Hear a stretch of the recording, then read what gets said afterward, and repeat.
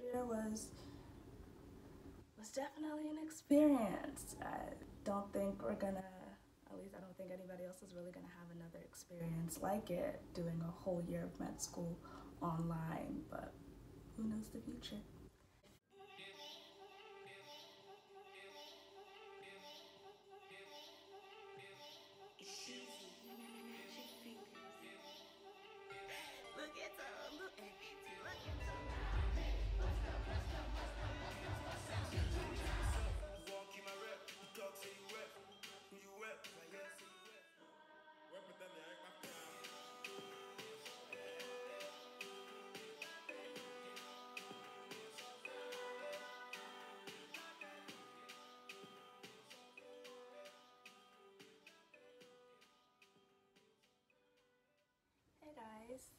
Tolu and welcome back to Essence MD.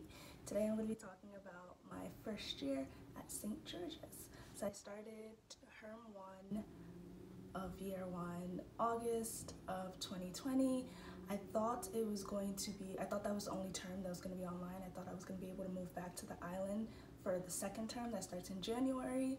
But to my surprise, all first year was online. So here's how it went down.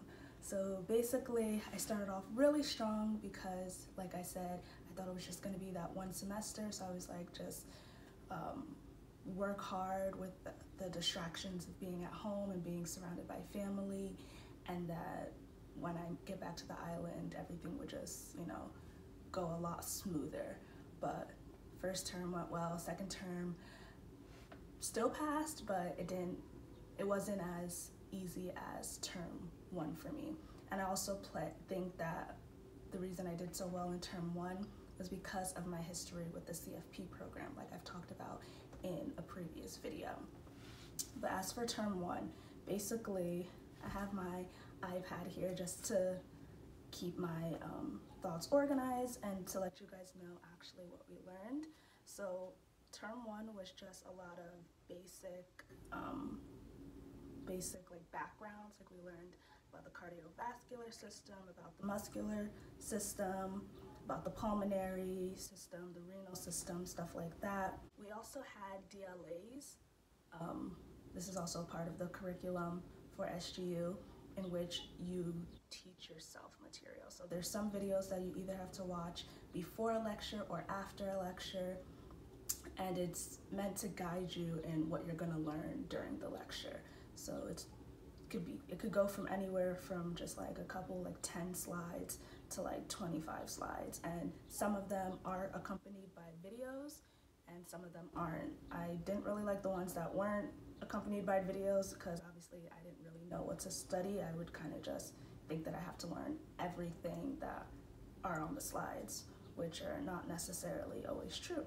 Um, term two, felt like why maybe I didn't do as well is because I was just tired of being at home. I didn't know when we were gonna go back to campus. There was a lot of rumors going back and forth that like, oh, we're going now or we're not going, you know, a lot of back and forth. So I was just like, I don't wanna do online school forever. Like I'm just sick and tired of it. So I kind of just lost my motivation but you know obviously when you see the grades slow uh, when you see the grades going down that motivation comes right back into action. So i was able to kick it up again and finish strong which is all that matters. As for what we learned term two um, we learned a lot of the endocrine system um, which was not really easy for me as well as the like reproductive system and um,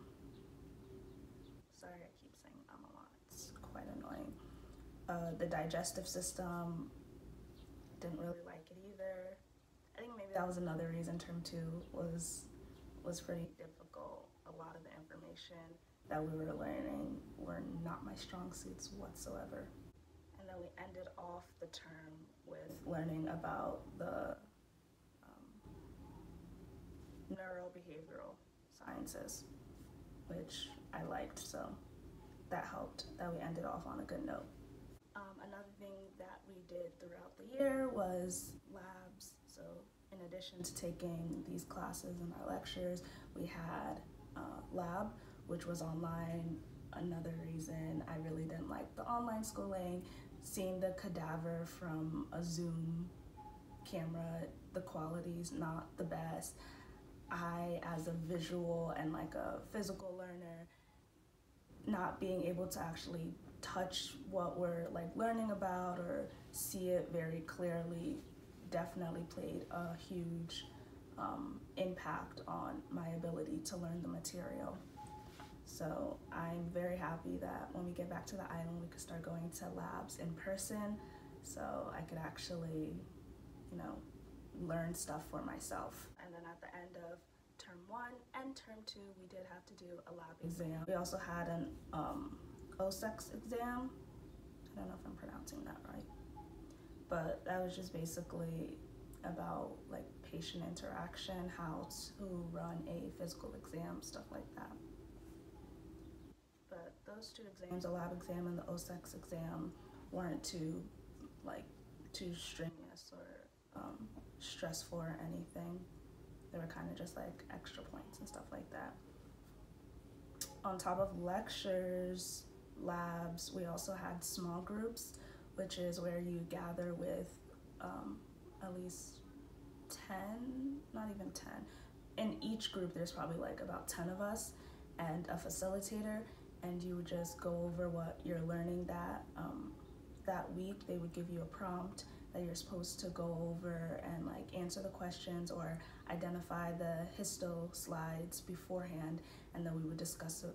We would discuss it when we're all together and stuff like that, and it would give us a chance to communicate with our peers we're also able to ask the facilitators to elaborate on stuff maybe we didn't understand in class. One thing that helped me in term one as well as term two was the open peer learning groups. So those are not really tutoring sessions, but you get together with upperclassmen and they give you tips on like what was tested a lot their year and what to focus on and stuff like that since we are learning a lot of material. Some material are more important than others so they helped you kind of guide your studying. And term two i ended up doing the same thing for the term one students and that really helped me the second half of term one um, the second half sorry of my first year because at the end of the first year we had to do a big exam from everything we learned from term one to term two. So by helping the term ones, my term two uh, semester, I was able to brush up on stuff that I learned from the first term as well as continuing with what I was learning the second term. And I felt like it really helped. Oh, um, attendance.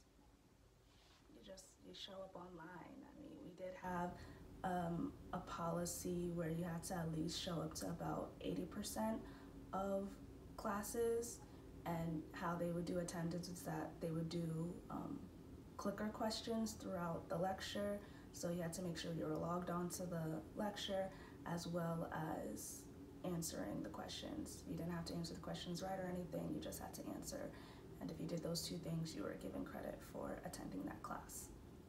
Same thing went for small groups you had to attend at least 80%, I believe. Um, and small groups, you had to have your cameras on, so that's how they were able to see if you were actually there. Unlike lecture, you didn't have to have your cameras on. They actually preferred you didn't have your cameras on because there were so many of us that sometimes it would mess with the um, the connection. Same thing for lab. You didn't really have to have your cameras on for that, and they would take attendance for labs um, just by logging in. Sometimes we had like clicker questions, but I don't even really think they counted. But um, just logging in was the main thing for lab attendance. I also forgot to mention, um, we also had IMCQs, which are just, they typically happened every Friday or like every other Friday. And we would just have a class where it was just all clicker questions and we were allowed to discuss it with our classmates. So since we're not actually with our classmates, a lot of us had group chats with our friends where we would discuss the questions. Yeah, first year was was definitely an experience. I don't think we're gonna, at least I don't think anybody else is really gonna have another experience like it doing a whole year of med school online, but who knows the future. But that was first year of med school at St. George's University. And stay tuned for the more videos we have. Me and Nancy are super excited to share our different journeys to that MD with you. So thanks guys. We hope you love Essence MD and that you guys stay tuned. Tell your friends. Please give us a follow on Instagram as well as TikTok. Um, ask us questions on any platform and we will try to get back to you as soon as possible. But that's it. Bye, guys.